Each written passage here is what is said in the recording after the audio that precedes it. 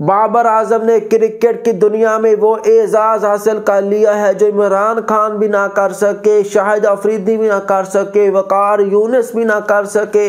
पाकिस्तान ने क्रिकेट की तारीख में पहली बार भारत को शिकस्त दी है।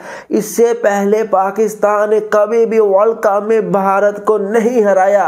ओवरऑल मैचेस में तो पाकिस्तान ने भारत को खूब नाको चने चबवाए थे, लेकिन वर्ल्ड कप के मैचेस में पाकिस्तान पाकिस्तान पीछे था।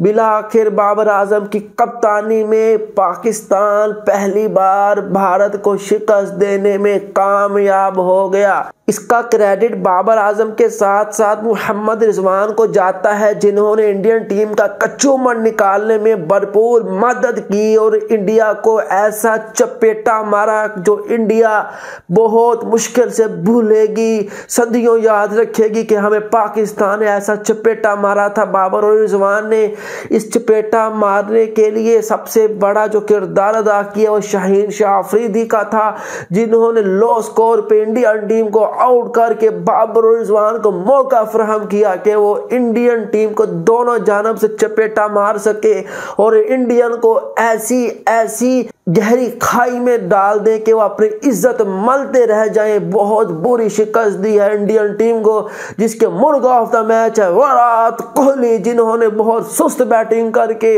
अपनी टीम के लिए खुद ही घड़ा खोद दिया। शहीन शाह अफरीदी ने जो घड़ा खोदा ही था, लेकिन विराट कोहली ने उसको इमली जामा पहना दिया। फिर से एक बार तमाम पाकिस्तानी फैंस को दिल की गहराइयों से मुबारकबाद। अगर आपको यकीनी में खुशी हुई है ना तो लाइक लाजमी कीजिएगा चैनल पर नए हैं तो सब्सक्राइब भी कीजिएगा बेल के बटन को भी दबाइएगा।